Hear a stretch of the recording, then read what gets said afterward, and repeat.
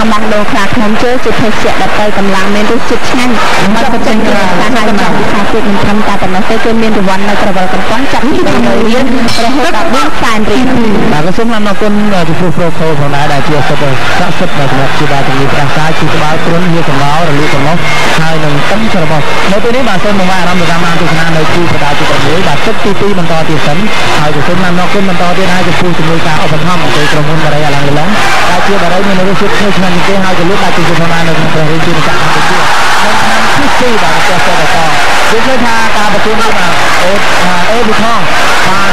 ទឹកទឹកចានមួយជើងមកឲ្យកីឡាករគោលភៀវទួលដល់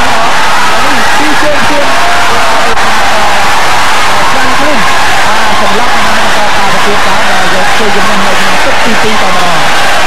ឃើញថាទីជើងនេះដល់ធ្វើឲ្យកីឡា ករអេវិថងទីជើងទៀតឲ្យកីឡាករខាងខ្លួននេះសម្លាប់តែម្ដងប្រគួតការទី2ដូច្នេះបាទគឺថាមិនហត់ទេពីផលប្រគួតលេងនេះ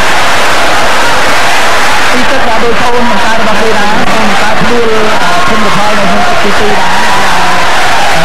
អេពីផងគឺកងបង្កើតរបស់អេពីផងក៏ធ្វើដៃគូនៅក្នុងទឹកទី2ដែរដូច្នេះការប្រគួតថ្ងៃនេះបាទ គឺថាមិនទៅជាបានជួបចិត្តប្រមាណទេសម្រាប់គូប្រដាល់បណ្ដាញខ្សែក្រវ៉ាត់ក៏ដូចជាគូប្រដាល់លក្ខណៈអន្តរជាតិបាទពីគូចុងក្រោយគឺថាព្រួនលឿនពេកបាទឲ្យគូដៃគូសម្រាប់លឿនមែនតើទឹកទី2បាទទាំងពីរគូតែម្ដងដូច្នេះបាទអេពីផងបងប្អូនយើងការប្រគួតនេះដល់ព្រួនដៃគូសម្រាប់នៅ